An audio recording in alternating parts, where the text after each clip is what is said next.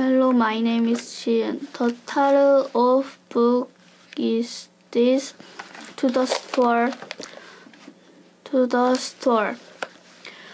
This book is written by Brian Roberts.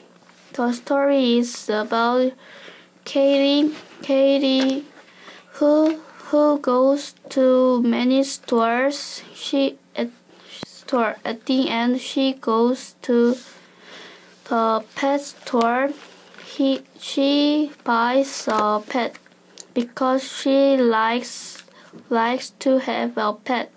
The part the part I like about this book is when she goes to the clothing clothing store and and and looks for coat because I I like go to the clothing store best.